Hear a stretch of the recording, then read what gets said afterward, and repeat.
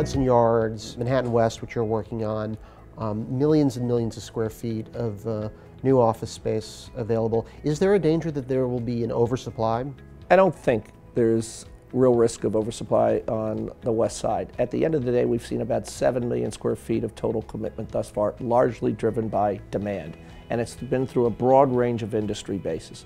We were talking about the TAMI sector, the financial service sector, the legal sector. The commitments that have been made, I think, are based on the fact that this product is necessary. As you know, um, Brookfield is building a residential tower. More than 800 units will be a component part of that.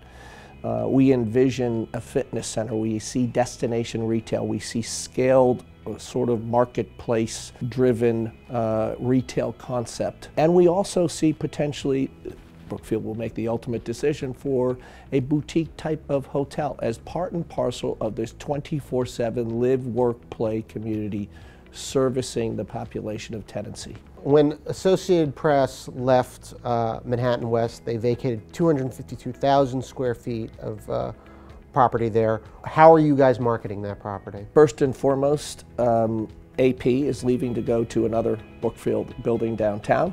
That's a good thing for the organization. Secondly, we think it's probably the most attractive space that will hit the marketplace with more than a $300 million plus renovation having taken place in the building. All will be complete by Q2 17.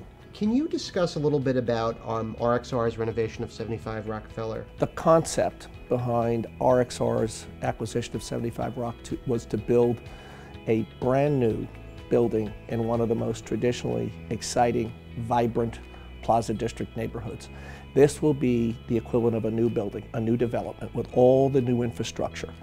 Um, high ceiling heights, um, brand new HVAC capability, and at the end of the day, sitting in Rockefeller Center will be, from the outside in, a brand new product. Tell us a little bit about your work with Intrepid. One of the, the things I have always been impassioned by is the Intrepid Museum and what it stands for stands for, at the end of the day, recognizing that freedom is not for free, that our future must come from a well-educated um, workforce and young people who understand that those who make the ultimate sacrifice who go before us lay the foundation for where they will go in the future. So the Intrepid represents all those things. Bruce, thank you so much. It's been a pleasure speaking to you.